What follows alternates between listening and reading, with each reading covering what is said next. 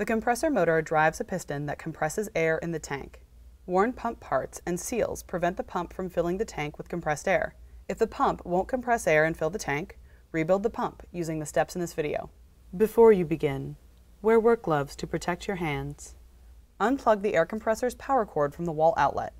Pull the ring on the safety valve to bleed all air pressure from the tank. Remove the front shroud mounting screws. Using a slot tip screwdriver, pry the shroud halves apart at the locking tabs and remove the front of the shroud. Remove the back shroud mounting screw. Remove the back shroud. Remove the air outlet tube from the pump head. Remove the mounting bolts from the pump head and lift the head off of the pump. Lift the valve plate off of the pump. Remove the fan mounting bolt and pull the fan off. Loosen the torque screw that clamps the piston connecting rod to the eccentric bearing. Pull the connecting rod off the eccentric bearing. Push the piston and cylinder sleeve up and out of the pump body. Push the piston out of the cylinder sleeve. Remove the torque screw from the top of the piston.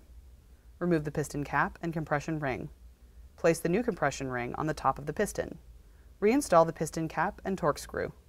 Slide the new cylinder sleeve onto the pump body. Insert the piston into the new cylinder sleeve. Push the piston connecting rod onto the eccentric bearing. Align the piston connecting rod flush with the eccentric bearing. Tighten the piston connecting rod torque screw to 48 inch-pounds using a torque wrench. Push the fan onto the keyed shaft. Reinstall the fan mounting bolt. Tighten the fan mounting bolt to 120 inch-pounds.